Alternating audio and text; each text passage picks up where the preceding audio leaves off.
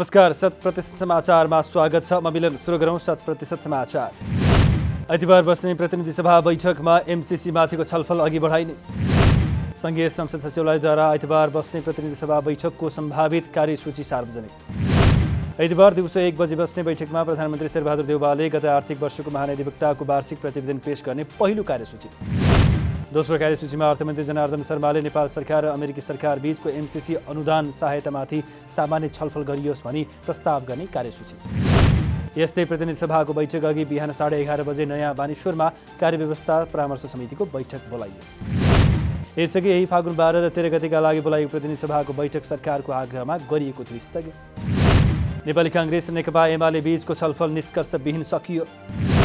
शनिबार बालकोटमा भएको दुई दलका शीर्ष नेताहरूको छलफलमा नेताहरू आफ्नै अडारमा कायम भएपछि निष्कर्षविहीन।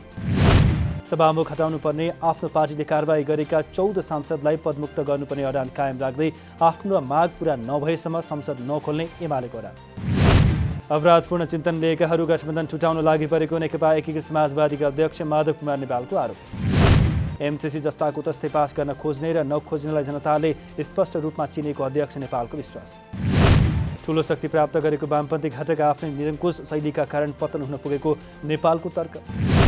अध्यक्ष नेपालद्वारा नेपाली वामपन्थीहरू अहिले राष्ट्रिय आत्मसमर्पणवादी नीति अख्तियार गर्ने अवस्थामा पुगेको टिप्पणी।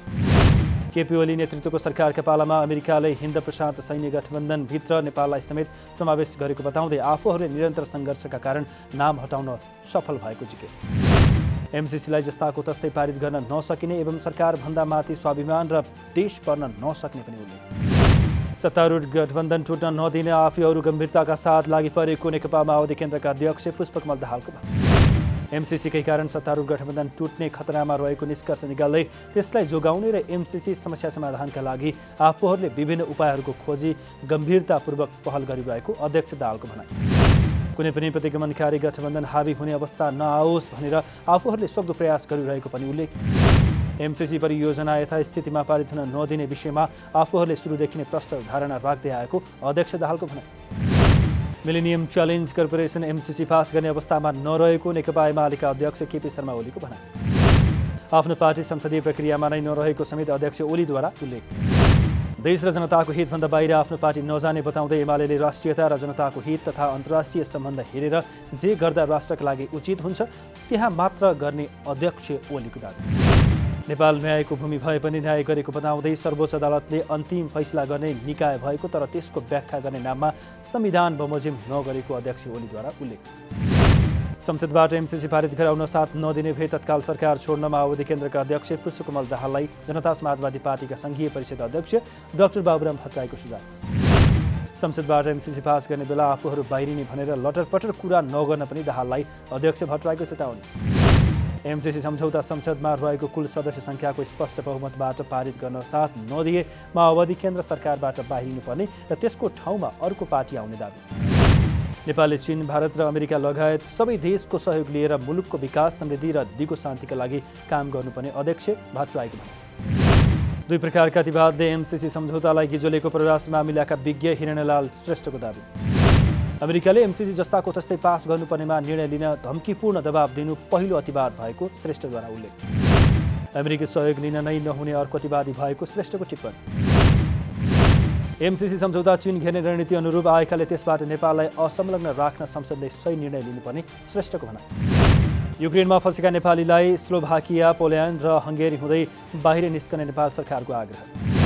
तत्काल यात्रा अनुमति पत्र आवश्यक पर्ने भएमा आफ्नो राजधानीको फोटोकपी र डिजिटल फोटो दूतावासको इमेल ठेगानामा पठाउन पनि जर्मनी स्थित दूतावासको आग्रह। रुसले गत बिहिबारबाट युक्रेनमा सैन्य आक्रमण सुरु गरेपछि त्यहाँ रहेका नेपालीको उद्धारमा सरकार जुट्यो। युक्रेनमा हवाई उडान निषेध गरिएका कारण त्यहाँ रहेका विदेशीहरूको उद्धार हुन कठिनाई। न्यायालयभित्र नै भ्रष्टाचार मौलाउनु चिन्ताको विषय भएको भन्दै यसप्रति सबै गम्भीर बन्न आवश्यक रहेको सरकारवालाहरूको भनाइ न्यायालय सुधारका लागि कानुन व्यवसायहरूले उठाउँदै आएको मागलाई सम्बोधन गर्न आफूहरूले जोखिम उठाएको नेकपा एकीकृत समाजवादीका अध्यक्ष माधव कुमार दावी लामो सङ्घर्षबाट देशमा सामन्तवाद समाप्त भए पनि नेपालको अर्थतन्त्र पुँजीवादको कब्जामा रहेको पार्टीका उपमहासचिव डाक्टर विजय कुमार पौडेलको जिकिर त्यसकै कारण न्यायालयदेखि राजनीतिक दल समेत शिकार हुन पुगेको पार्टीका उपमहासचिव डाक्टर पौडेलको भनाइ कानुन व्यवसायीको नेतृत्व राजनीतिक हस्तक्षेपबाट नभई कानुन व्यवसायीले नै गर्नुपर्ने वरिष्ठ अधिवक्ता शम्भु थापाको भनाइ सङ्घीय मामिला तथा सामान्य प्रशासन मन्त्रालयद्वारा सबै स्थानीय तहलाई मतदाता नामावली अद्यावधि गर्ने कार्यमा आवश्यक सहजीकरण गर्न परिपत्र। मतदाता नामावली प्रकाशन गर्ने कुनै मतदाताको नाम विवरण कुनै त्रुटि भएमा सच्याउन निवेदन दिने कसैले झुटा विवरण दिई मतदाता नामावलीमा नाम समावेश गरेको भए प्रमाणसहित उजुरी दिनेछ यसै गरी दोहोरो नाम हटाउन निवेदन दिने मृत्यु भएका वा नागरिकता त्याग गरेको वा नागरिकता रद्द भएको व्यक्तिको नाम मतदाता नामावलीबाट हटाउने लगायतका मतदाता अद्यावधि कार्य निर्वाचन कार्यालयबाट सञ्चालन हुने सरकारले दुई हजार उनासी वैशाख तिस गते स्थानीय तहको निर्वाचन मिति घोषणा भई निर्वाचन आयोगले निर्वाचन समिति कामलाई तीव्र पार्दै परराष्ट्र मन्त्री डाक्टर नारायण खड्काद्वारा कोरोना विरुद्धको खोपमा सबैको पहुँच पुर्याउन र सस्तो बनाउने प्रयासका निम्ति अन्तर्राष्ट्रिय समुदाय समक्ष आह्वान। संयुक्त राष्ट्रसङ्घ महासभाका अध्यक्षले विश्वव्यापी खोप सम्बन्धमा आयोजना गर्नुभएको उच्चस्तरीय बहसलाई सम्बोधन गर्दै महामारीको रोकथामका लागि विश्वव्यापी खोप नै भरपर्दो माध्यम भएको परराष्ट्र मन्त्री खड्काद्वारा उल्लेख। निष्पक्ष रूपमा खोपको प्राप्तिलाई प्रवर्धन गर्नेतर्फ सबैको ध्यान केन्द्रित गर्नुपर्नेमा परराष्ट्र मन्त्रीको जोड। नेपालमा खोपमा भएको प्रगतिबारे जानकारी दिँदै आगामी चैत मसान्तसम्म बाह्र वर्षभन्दा माथिका सबै नागरिकलाई खोप लगाइसक्ने लक्ष्य निर्धारण गरिएको मन्त्री खड्काको भनाइ नेपालमा पछिल्लो चौबिस घण्टामा थप एक सय पचपन्नजनामा कोरोना सङ्क्रमण पुष्टि। गत चौबिस घण्टाको अवधिमा पाँच सय चालिसजनामा कोरोना सङ्क्रमण मुक्त। लमजुङ र मनाङ जोड्ने बेसी सहर चामे सडक पन्ध्र दिन बन्द हुने। विशेषर चामे सडक खण्डको तिमाङ चहरामा रहेको काठे पुल जीर्ण भएकाले कलभट निर्माणका लागि फागुन बिसदेखि चैत पाँच गतेसम्मका लागि सडक बन्द हुन्। मनाङको नासा गाउँपालिका वडा नम्बर नौ स्थित तिमाङ चहरामा दुई ठाउँमा कलभट निर्माण गरिने। त्यहाँ गत असारमा आएको बाढीले काठे पुल बगाएपछि पुनः काठे पुल राखेर यातायात सञ्चालनमा भएकोमा गत कार्तिकमा आएको बाढी पहिरोले समेत बगाएको थियो काठे खोटाङको हलेसी मन्दिरबाट तिन आर्थिक वर्षमा एक करोड बयानब्बे लाख सैँतिस हजार चार सय अठासी रुपियाँ आम्दानी। हिन्दू बौद्ध र किराँत धर्मावलम्बीको सङ्गमस्थल हलेसी आउने दर्शनार्थीबाट भेटी बापत जम्मा भएको रकम खर्च कटाएर सतहत्तर लाख छ हजार चार सय अडतिस हलेसी मन्दिर व्यवस्थापन समितिको खातामा। हलेसी मन्दिरमा आउने विदेशी दर्शनार्थीले चढाएका विदेशी मुद्रा तथा स्वदेश र विदेशीका दर्शनार्थीले चढाएका सुन चाँदीका गरगहना लगायतका सामग्री भने हालसम्म सुरक्षित।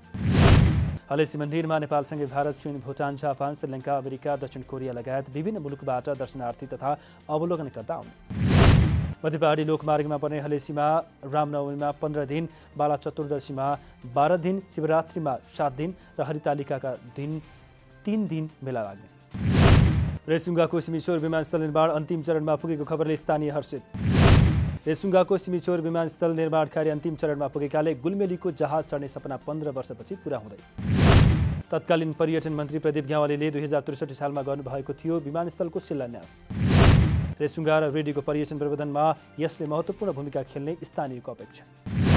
गुल्मीसँगै अर्घकाँसी प्युछान भागलुङ पाल्पा र रोल्पाका नागरिक प्रत्यक्ष लाभान्वित हुने गुल्मी उद्योग वाणिज्य सङ्घको भनाइ रौसा भन्सार कार्यालय टिमुरेद्वारा चालु आर्थिक वर्ष दुई हजार अठहत्तर उनासीको माघ महिनामा राखेको लक्ष्यको चौरासी प्रतिशत मात्र राजस्व सङ्कलन। भन्सार कार्यालय टिमुरेका अनुसार माघ महिनामा चिनमा लोसार पर्व तथा हिमपातका कारण चिनबाट सामग्री नियमित आयात नहुँदा लक्ष्य पुरा गर्न सकिएन। कार्यालयले माघ महिनामा पचपन्न करोड रुपियाँ राजस्व सङ्कलन गर्ने लक्ष्य राखेकोमा चौवालिस करोड मात्र राजस्व सङ्कलन।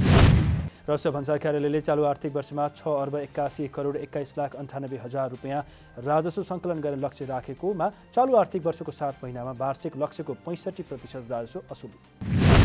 चिनको केरुङबाट रसुवा गाडी नाका हुँदै अहिले नेपालतर्फ कोटा प्रणाली अन्तर्गत दैनिक नौवटा चिनिया गाडीमा रेडिमेड कपडा इलेक्ट्रोनिक सामान जलविद्युत आयोजनाका सामग्री तथा यातायातका साधन लगायतका सामग्रीहरू भित्रिने। नेपालबाट केरुङतर्फ हस्तकलाका सामग्रीहरू जाने भए पनि कोरोना सङ्क्रमण सुरु भए यता चिनले एकतर्फी मात्र नाका खुला गरेसँगै नेपालबाट हुने निर्यात शून्य पर्यटन व्यवसायी मजदुर सम्बन्ध सङ्गठन युनिट्राभ नेपालले श्रमिकहरूको अपेक्षा र भावी कार्यदिशाबारे चलायो छलफल। युनिट्राभले आफ्नो तेह्रौँ अधिवेशनको क्रममा चलाएको छलफलबाट पर्यटन क्षेत्रमा आबद्ध मजदुरहरूलाई नयाँ ढङ्गले पुनरुत्थान हुने अपेक्षा। दिगो पर्यटन रोजगारी र समृद्धिको आधार सामाजिक सुरक्षा श्रमिकको मौलिक अधिकार भन्ने नाराका साथ युनिट्राभले पर्यटन मजदुरहरूको हक हितलाई उजागर गर्ने युनिट्राभमा नयाँ कार्य समितिबाट कोरोना भाइरसका कारण करिब दुई वर्ष बढी समयदेखि गम्भीर मोडमा पुगेको पर्यटन क्षेत्रमा आबद्ध मजदुरहरूलाई नयाँ ढङ्गले पुनरुत्थान पुग्ने अपेक्षा। सन्दर्भ ब्याजदर निर्धारण समितिको बैठकले सोह्र प्रतिशत ब्याजदर तोकेको राष्ट्रिय सहकारी महासङ्घद्वारा जानकारी। सहकारीमा क्यापिङका रूपमा रहेको चौध दशमलव सात पाँच प्रतिशत सन्दर्भ ब्याज दरले गर्दा सम्पत्ति दायित्व व्यवस्थापन चुनौतीपूर्ण बन्दै गएको भन्दै गरेको थियो दबावमूलक अभियान सञ्चालन। सहकारी विभागले गठन गरेको सन्दर्भ ब्याज दर निर्धारण तथा सिफारिस समितिद्वारा शुक्रबार आगामी फागुन पन्ध्र गतेदेखि लागू हुने गरी उक्त निर्णय। नेपाल र भारतका ऊर्जा सचिवहरूको संयुक्त निर्देशक समितिको बैठकले गरेका विभिन्न निर्णय एवं सहसमितिको स्वतन्त्र ऊर्जा उत्पादकहरूको संस्था नेपाल इपानद्वारा स्वागत। पछिल्लो सहमतिले नेपाल भारत विद्युत व्यापारमा नयाँ आयाम थप्नुका साथै दुई देशबीचको सुमधुर सम्बन्धलाई अझै प्रगाड बनाउने विश्वास। बैठकमा निर्णयले नेपालको विद्युत बङ्गलादेशसम्म निर्यातका लागि आधार तय गरेको भन्दै इपानले सो निर्णयले आगामी दिनमा नेपालको ऊर्जा क्षेत्रको विकासमा महत्त्वपूर्ण भूमिका निर्वाह गर्ने विश्वास व्यक्त। रुसी सैनिकद्वारा युक्रेनको बेलितोपोल सहर आफ्नो कब्जामा लिएको दावी। रुसी रक्षा मन्त्रालयले मेलितोपोल सहर नियन्त्रणमा लिएको रोइटर्सले रुसी रक्षा मन्त्रालयलाई उद्धित गर्दै उल्लेख युक्रेनमा रुसले आक्रमण सुरु गरे यता रणनीतिक रूपमा महत्त्वपूर्ण सहर मेलितोपोल कब्जा।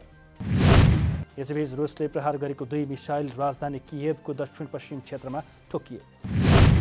युक्रेनमा गरेको सैन्य आक्रमणको विरोधमा रुसका विभिन्न सहरमा विरोध प्रदर्शन। रुसी राष्ट्रपति व्लादिमिर पुटिनले तीन दिन अघि युक्रेनमाथि सैन्य आक्रमणको घोषणा गरेपछि त्यसै युक्रेनमा युद्ध जारी। रुसी आक्रमणको विश्वभरबाट निन्दा भइरहेको बेला रुसभित्रै पनि सर्वसाधारणद्वारा युद्धको विरोधमा प्रदर्शन। पुटिनलाई युद्ध रोक्न सर्वसाधारणहरूको आग्रह। रुसका दुई ठुला सहर मस्को र सेन्ट पिटर्सबर्ग सहितमा सर्वसाधारणको प्लेकार्ड सहित प्रदर्शन। प्रदर्शन दबाउन ठुलो मात्रामा प्रहरी तैनात गरिएको छ भने प्रहरीद्वारा अठार सयभन्दा बढी प्रदर्शनकारीलाई पक्राउ। युक्रेनलाई तत्काल छ दशमलव चार बिलियन अमेरिकी डलर बराबरको सहयोग अमेरिकाको प्रस्ताव। राष्ट्रपति जो बाइडेनको प्रशासनले संसदसँग सहयोग सम्बन्धी प्रस्ताव पारित गर्न शुक्रबार गरेको थियो आग्रह। त्रिभुवन आर्मी क्लब शहीद स्मारक ए डिभिजन लिग फुटबलमा दोस्रो स्थानमा। त्रिपुरेश्वर स्थित दशरथ रङ्गशालामा भएको मनाङ मर्स्याङ्दी क्लबसँग एक एक गोलको बराबरी खेलेपछि आर्मी दोस्रो स्थानमा। यस बराबरीसँगै आर्मीले तेह्र खेलमा अङ्क जोड्दै आर्मी बन्यो लिगको उपविजेता। यस्तै शहीद स्मारक ए डिभिजन लिग फुटबलमा न्युरो टिम एनआरटी लिगको आफ्नो अन्तिम खेलमा विजयी। साधुबाटो स्थित एन्फा कम्प्लेक्समा शनिबार भएको खेलमा एनआरटीले विभागीय टोली नेपाल पुलिस क्लबलाई तिन एकले हराए। एनआरटीलाई जित दिलाउन मेसुके ओलोमोको ह्याट्रिक। जितसँगै एनआरटी तेस्रो स्थानमा रहेर लिगको अन्त्य गर्दै एनआरटीको तेह्र खेलमा तेइस अङ्क यस वर्षको प्रधान सेनापति खुला म्याराथन प्रतियोगिताको उपाधि नेपाली सेनाका कृष्णबहादुर बस्नेतलाई। सेना दिवस दुई हजार अठहत्तरको अवसरमा शनिबार भएको बयालिस दशमलव एक नौ पाँच किलोमिटर दूरीको म्याराथन दुई घन्टा उन्नाइस मिनट सन्ताउन्न सेकेन्डमा पुरा गरी बस्नेत प्रथम। प्रथम भए बापत बस्नेतलाई तिन लाख नगद र मोटरसाइकल पुरस्कारका साथै अमेरिकामा हुने वर्ल्ड च्याम्पियनसिपमा भाग लिने अवसर समेत प्राप्त। शत प्रतिशत समाचार अहिलेलाई यति नै नमस्कार।